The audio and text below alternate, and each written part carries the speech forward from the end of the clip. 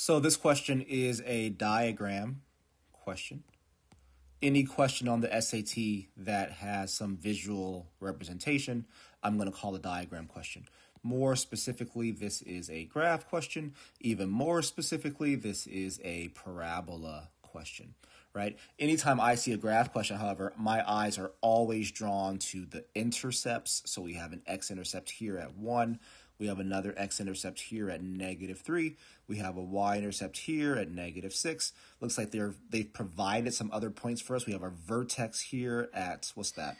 negative 1 comma negative 8 and we have another point here at negative 2 negative 6 as well right so i think i have a pretty good sense of where all the important points are the question goes on to say the graph of y equals 2x squared plus bx plus c is shown where b and c are constants what is the value of bc right so we are told that we have y equals 2x squared plus bx plus c now, I know that the c value here is the y-intercept, right? Y-intercept, let's not forget, the basic way to find the y-intercept is by plugging in x equals 0. So that's also another way to, to figure it out. If we said x was 0, this term would be gone, this term would be gone, and we would just have y equals c.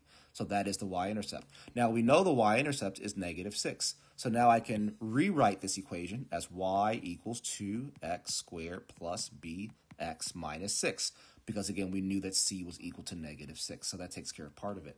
Now what else can I figure out?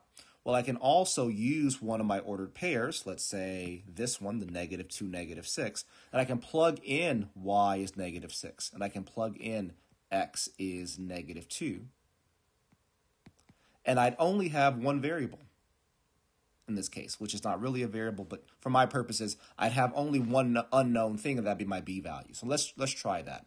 I have negative 6 equals 2 parentheses, negative 2 squared uh, plus b times negative 2 minus 6. Let's simplify that. We have negative 6 equals negative 2 squared is 4. 2 times 4 is 8. So I get negative 6 equals 8. This is going to turn into a minus 2b, right? b times negative 2. And then I have minus 6. 8 minus 6 is 2, so it becomes negative 6 equals negative 2b plus 2. Of course, I'm going to subtract 2 from both sides here. I'm left with negative 8 equals negative 2b.